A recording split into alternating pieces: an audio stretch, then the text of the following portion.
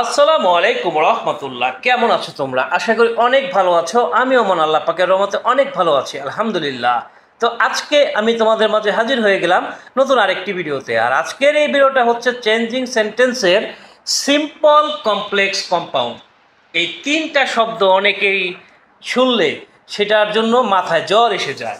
আজকে আমি তোমাদেরকে সিম্পল কমপ্লেক্স কম্পাউন্ড অত্যন্ত সহজ টেকনিকে শিখিয়ে দেবো। কোনো প্রকার কোনো গ্রামার বা রুলস ছাড়াই তুমি সিম্পল কমপ্লেক্স কম্পাউন্ড পারবা।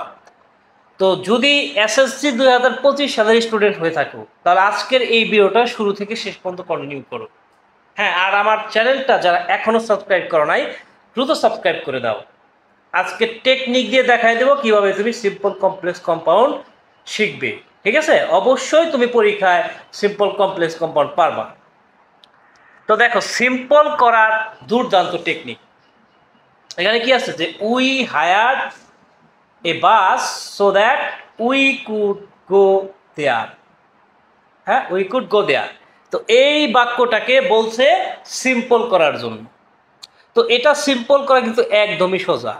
সিম্পল আর কম্পাউন্ড করা একদমই সোজা। মাঝে মাঝে কমপ্লেক্স করতে গেলে তোমাদের একটু অসুবিধা হয়তো হলেও হতে পারে। কিন্তু সিম্পল আর কম্পাউন্ড করা একবারই সোজা একটা বিষয়। আর আজকের ভিডিওটা যদি তুমি একদম ফুলি দেখো, তাহলে সিম্পল কমপ্লেক্স কম্পাউন্ড তিনটাই তোমার জন্য পানির মতো সোজা হবে। তো এই জায়গায় দেখো যে সো দ্যাট কথাটা আছে সো দ্যাট তো এই সো দ্যাট যদি কোনো সেন্টেন্সের মধ্যে থাকে, সেটাকে যদি সিম্পল করতে বলে জাস্ট ওই সো দ্যাটের জায়গায় তুমি টু বসায় দিবা। কি বসায় দেবা? টু বসায় দিবা। এবং টু বসায় দেওয়ার পরে এখানে যে মূল ভার্বের প্রেজেন্ট ফর্মটা আছে, সেটা বসায় দেবো। গো তাহলে এই গোটা বসায় দাও। তাহলে কি হলো?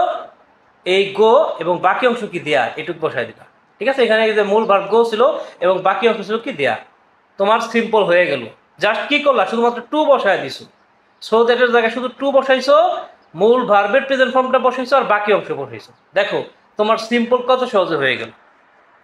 এইবার আসব যে it is help which is well it is help which is well তো এইখানে দেখো একটা বিষয় আছে যে হুইচ বা হু থাকতে পারে। তো এই রকম হু হুইচ হোয়েন হয়ার এগুলো যদি থাকে, তাহলে সেই ক্ষেত্রে তোমার কি করতে হবে? তুমি জাস্ট এই হুইচটাকে বাদ দা দিবা। এই যে এখানে হুইচ আছে, এই হুইচটাকে বাদ দা দাও। আর যদি ইট ইজ থাকে বা ইট ওয়াজ থাকে, ওইটাকে বাদ দা দিবা। ইট ইজ বা ইট ওয়াজ বাদ দিবা, আর যদি হু বা হুইজ থাকে, এটা বাদ দিবা। তারপরে যা আছে, সবই তুমি খাতায় লিখে দিবা। ঠিক আছে? এখানে আমরা ইট ইজটা বাদ দিয়ে দিব। এই যে ইট ইজ আছে, এটাকে বাদ দা দিব। আর এই যে হুইচ আছে, এটাকেও বাদ দা দিব। এখন তাড়াতাড়ি থাকল কি? হেলথ ইজ ওয়েল তাহলে এই যে হেলথ ইজ ওয়েল তোমার কি হয়ে গেল গা? সিম্পল হয়ে গেল। এভাবে যদি এখানে হুও থাকে, তাহলে কিন্তু একই নিয়ম। হোয়েন থাকলে একই নিয়ম হয়ার থাকলে কিন্তু একই নিয়ম। ঠিক আছে? ওকে এবার আসি কিছু বিষয়। যেমন, তোমার কিছু শর্টকাট একবারে শর্টকাট একটা বিষয় মনে রাখতে হবে। যখন দেখবা কোনো সেন্টেন্সের মধ্যে দো বা বাট আছে, তখন সিম্পল করার জন্য প্রথমে তুমি ইনস্পাইট অফ বসাবা। যখন দেখবা ইফ আছে, তখন তুমি বাই বসাবা। যখন আনলেস বা অর আছে, এরকম বাক্যকে সিম্পল করার জন্য তুমি প্রথমত উইদাউট বসাবা। যখন হোয়েন আছে, তখন তুমি ভার্বের সাথে কি করবা? আইএনজি করতে হবে। ভার্বের সাথে কি করতে হবে? আইএনজি অর্থাৎ দো বা অল দো বা বার থাকলে ইনস্পাইট অফ প্লাস ভার্বের সাথে আইএনজি হবে। এভাবে ইফ যদি থাকে তাহলে বাই প্লাস ভার্বের সাথে আইএনজি হবে। আনলেস বা থাকলে উইদাউট প্লাস ভার্বের সাথে আইএনজি হবে। এবং হোয়েন যদি থাকে তাহলে ভার্বের সাথে আইএনজি হবে অথবা ইন বা অ্যাট থ্রুতে বসবে। এরপরে অ্যাস বা সিন যদি থাকে তাহলে বিকজ অফ এবং ভার্বের সাথে আইএনজি হবে। তো এই বিষয়গুলো জাস্ট তোমাকে একটু মনে রাখতে হবে। আর এগুলো মনে রাখা মোটেও কোনো কঠিন কাজ না। জাস্ট তুমি খাতা কলমে এই বিষয়গুলো একটু নোট করে নাও। ঠিক আছে? ওকে আচ্ছা এখন আসি যে এটা আমি তোমাদের কেন করতে বলছি। যেমন এখানে আছে though. Though he works hard, he fails যদিও সে কঠোর পরিশ্রম করে, সে ফেল করে। তো এটাকে সিম্পল করতে যদি বলা হয়, তাহলে এই দোয়ের জন্য প্রথমত তুমি কি করবা? In spite of. মানে যেখানে দো আছে ওই জায়গায় তুমি জাস্ট কি বসাই দিবা? ইন স্পাইট অফ এবং এরপর জাস্ট তুমি আরেকটা কাজ করবা। এখানে যে ভার্বটা থাকবে, ঠিক আছে? অর্থাৎ দোয়ের পরে যে ভার্বটা থাকবে, প্রথমে যে ভার্বটা থাকবে হ্যাঁ? প্রথম অংশে যে ভার্বটা থাকবে, সেই ভার্বের সাথে জাস্ট আইএনজি করে দাও। ঠিক আছে? অর্থাৎ সিম্পল করার জন্য জাস্ট তোমাকে কি মনে রাখতে হবে? যে তোমাকে আইএনজি করতে হবে। ঠিক আছে? মূল যে ভার্বটা থাকবে হ্যাঁ? ওই মূল ভার্বের সাথে তোমার কি করতে হবে? আইএনজি করে দিতে হবে। ঠিক আছে? আচ্ছা তো এখানে ইনস্পাইট অফ এইভাবে ওয়ার্ক ছিল, এখানে ওয়ার্কের সাথে আইএনজি করলে কি হয়? ওয়ার্কিং। এরপরে বাকি যা আছে তাই জাস্ট লিখে দাও, তোমার সিম্পল সেন্টেন্স হয়ে গেল। এইবার আসব কমপ্লেক্স করার দুর্দান্ত টেকনিকই দেখো, এখানে আছে ইন নাইনটিন সেভেন্টি ওয়ান উনিশশো একাত্তর সালে বাংলাদেশ বিকেম ইন্ডিপেন্ডেন্ট বাংলাদেশ স্বাধীন হয়েছিল। এটাকে কমপ্লেক্স করতে বলা হচ্ছে। তো কমপ্লেক্স করার জন্য তোমাকে কি করতে হবে? যখন দেখবা যে কোনো প্রিপোজিশন দিয়ে আছে কোনো প্রিপোজিশন আছে তাহলে এটার জন্য তুমি শুরুতে হোয়েন বসায় নিবা। ঠিক আছে? কোনো প্রিপোজিশন দিয়ে যদি শুরু হয়, তাহলে তুমি অবশ্যই তার জন্য হোয়েন বসায় নিবা। এখন মনে রাখতে হবে যে কমপ্লেক্স সেন্টেন্স মানে হচ্ছে যে এখানে তোমাকে দুইটা খণ্ডবাক্য করতে হবে। এখন দেখো in nineteen hundred seventy one এটা কি কোনো বাক্য হয়েছে এটা কিন্তু বাক্য হয় নাই। তো এই বাক্যটাকে একটা পূর্ণাঙ্গ বাক্যে রূপ দাও তো পূর্ণাঙ্গে বাক্যে রূপ দিতে গেলে তোমার কি লাগবে? এখানে একটা সাবজেক্ট লাগবো, একটা ভার্ব লাগবো এবং অবজেক্ট লাগবে। তো অবজেক্ট এখানে দেওয়া আছে উনিশশো একাত্তর। এখন তোমাকে একটা সাবজেক্ট তো উনিশশো একাত্তর কি কি কোনো ব্যক্তি, এটা তো একটা বস্তু, যেহেতু শাল শাল কোনো ব্যক্তি না। তো এই জন্য আমরা ইট ইজ বা ইট ওয়াজ ব্যবহার করব। যেহেতু পরবর্তী অংশে টেন্স রয়েছে ভার্ব টু মানে পাস্ট ইনডিফিনিট টেন্স রয়েছে। এই জন্য এই পাশে তার কোনো ভার্ব নাই in nineteen hundred seventy one এই জন্য ইটের পরে যেহেতু নাইনটিন হান্ড্রেড সেভেন্টি ওয়ান এটা একটা বস্তু এই জন্য ইট, আর যেহেতু ভার্ব নাই, এ- এই জন্য ওয়াজ। ওয়াজ নেব এই কারণে, কারণ পর- পরবর্তী যে অংশ, এখানে ভার্ব টু ছিল। এই জন্য এখানে আমরা এখানেও একটা ভার্ব টু নেব অক্সিলারি ভার্ব নেব, ওয়াজ নেব। আর এটা যদি প্রেজেন্ট থাকতো বিকেম না থাকে বিকাম থাকতো, তাহলে এখানে ইজ নিতাম। তো, তারপরে বস্তুটা কি? নাইনটিন হান্ড্রেড সেভেন্টি ওয়ান এটা নিলা তারপর এখন যা আছে তাই। বাংলাদেশ বিকেম ইন্ডিপেন্ডেন্ট দেখো, খুব সহজে তোমার কি হয়ে গেল? সিম্পল হয়ে গেল। কমপ্লেক্স হয়ে গেল। ঠিক আছে? আচ্ছা তো এখন এখন একটা বিষয় তোমাকে মনে রাখতে হবে। যখন তুমি দেখবা কোনো সেন্টেন্সে ইন স্পাইট অফ বা বার্ড দেওয়া আছে হ্যাঁ ইন স্পাইট অফ লেখা আছে বা বার্ড লেখা আছে, তাহলে তার জন্য তুমি শুরুতে কমপ্লেক্স করার জন্য দো বসায় নিবা। এরপর যদি এরকম থাকে বাই প্লাস ভাবের সাথে আইনজি যদি থাকে, তাহলে তার জন্য তোমাকে ইফ বসাইতে হবে শুরুতে। এভাবে উইদাউট প্লাস ভাবের সাথে আইনজি থাকলে তোমাকে কি করতে হবে? আনলেস কথাটা বসাইতে হবে। এভাবে বাই প্লাস ভার্বনের সাথে আইনজি যদি থাকে বাই না? ভার্বনের সাথে আইনজি যদি থাকে, তাহলে তোমাকে শুরুতে হোয়েন বসায় নিতে হবে। এরপরে যদি বিকজ অফ থাকে বিকজ অফ বিকজ অফের জন্য তুমি কি করতে হবে? বিকজ অফের জন্য তোমাকে শুরুতে অ্যাজ বা সিন্স বসায় নিতে হবে। এবং ফাইনালি যদি টু বা ইন অর্ডার টু পাও, তাহলে ওই জায়গায় তোমাকে কি বসাইতে হবে? টু বা ইন অর্ডার টু পাইলে তোমাকে ওই জায়গাটা তোমার সো দ্যাট ব্যবহার করতে হবে। ঠিক আছে? ওই জায়গায় তোমার কী ব্যবহার করতে হবে? সো দ্যাট সো দ্যাট তো এই বিষয়গুলো তোমাকে জাস্ট কি একটু মনে রাখতে হবে, ঠিক আছে? কমপ্লেক্স করার জন্য।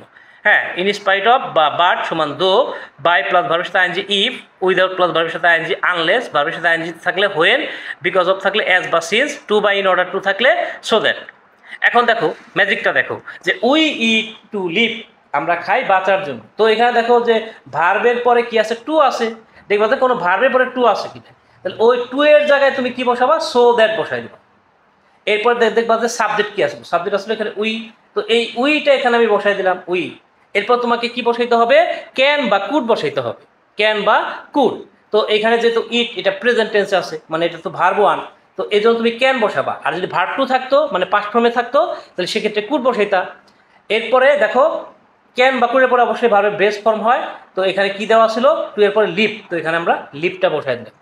হয়ে গেল তোমার কমপ্লেক্স ওকে আচ্ছা এরপর দেখো যে finishing the word he went a way যখন দেখবা যে কোনো সেন্টেন্সে এভাবে আইএনজি দিয়ে শুরু আছে সেন্টেন্সটা আইএনজি দিয়ে শুরু হয়েছে, তখন শুরুতে তুমি হোয়েন বসায় নিবা।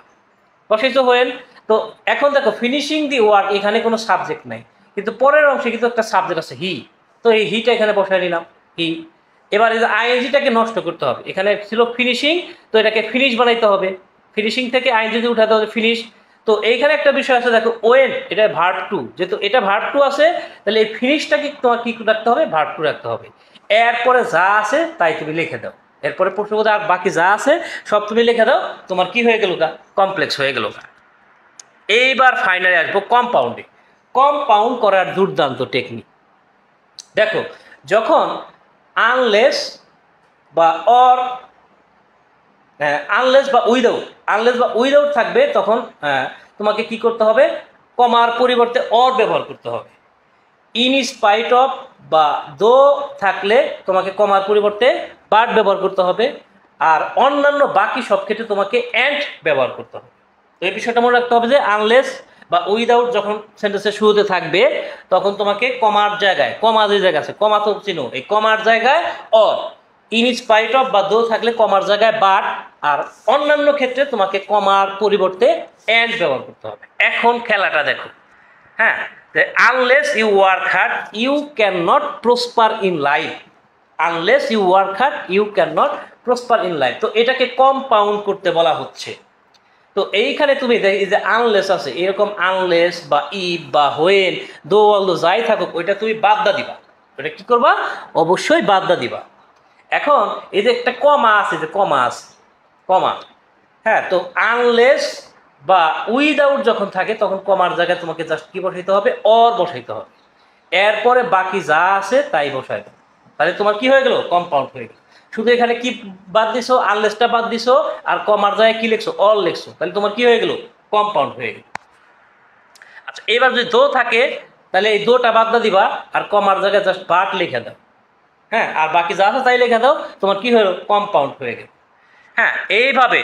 এবার দেখো যদি এটা থাকে যে we hired a bus we hired a bus আমরা একটা বাস ভাড়া করেছিলাম so that we could go there যাতে আমরা সেখানে যাইতে পারি।